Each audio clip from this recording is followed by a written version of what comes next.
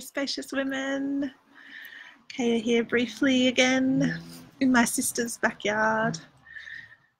Traveling, visiting family. I've been spending time with my month old niece in the last week. She's so adorable. I forget how sacredly, divinely adorable babies are, tiny babies are. So I just want to briefly um, remind you to ask for what you want. Because mothers are so used to doing so much and holding so much, like mentally and also practically, like in terms of all the things there are to do. Sorry if it's really um, sunny and you can't see me. Um, but and and then we're also prone to carrying a lot of resentment around for the load that we carry but there's a couple of things that you're responsible for in that. And one of them is firstly getting clear on what it is that you actually want to need, particularly the requests that you have. Like, what kind of help do you actually want? How do you want other people around you, like a partner or your children, or um, people at work or people in your community? How do you actually want them to support you? And that begins with tuning into what you're actually feeling and what you're actually needing. You need to do that a lot. That's your responsibility. And then that gives you the information to know what kinds of requests you have of them. And then the next bit that's your responsibility is actually asking for it. It's so common for mothers to carry around this resentment and this heaviness and this burden of responsibility but when you actually reflect on it, realize that, well, I haven't actually been asking. So I haven't actually given them much of a chance to not let me down, to actually be there for me. So that's the first thing you're responsible for.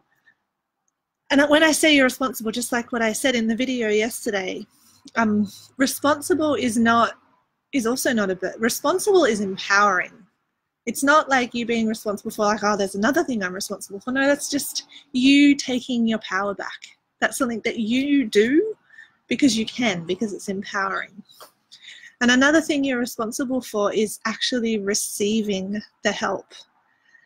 I've spoken with so many mothers and i can relate to it myself who have really needed help but when it's actually there and someone comes and like wants to really give to them i find it really hard to receive it and there's like resistance and this like oh, i can't i shouldn't i um it's not okay to and they put blocks up to receiving. So it's your responsibility to actually really receive the help that's there whether you've asked for it or not. If you if it meets your needs and you actually it serves you it supports you then really receive it so the first thing is tune in to what you're really feeling and needing. Practice asking for it. And when you actually know what you're feeling and needing, it's way easier to know how to express it.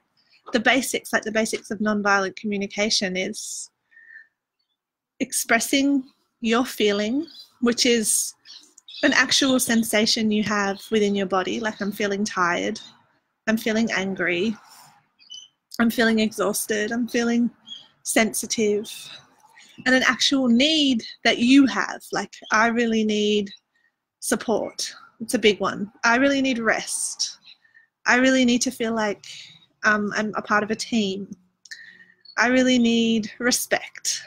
Whatever it is, like needs are those those basic things that no one can really argue with. Like if you say something like I need you to be different, that might be something that is hard for someone to receive. But if I just, I really need space or I really need respect, that's understandable. And then just tuning into what kind of simple, doable request do you have and asking them.